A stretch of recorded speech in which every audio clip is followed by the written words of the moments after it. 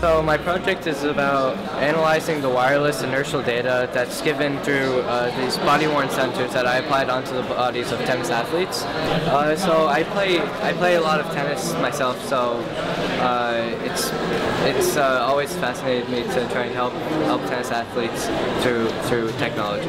The the best thing about science is that it's a continuously advancing subject, and there's always something that you can learn.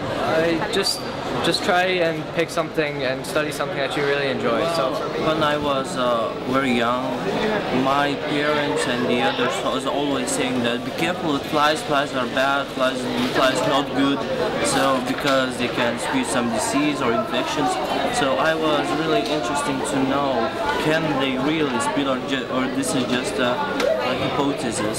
Science is fascinating and the ability to see that, that beauty of science is a really good thing. I can say just just try and, and try, that's all.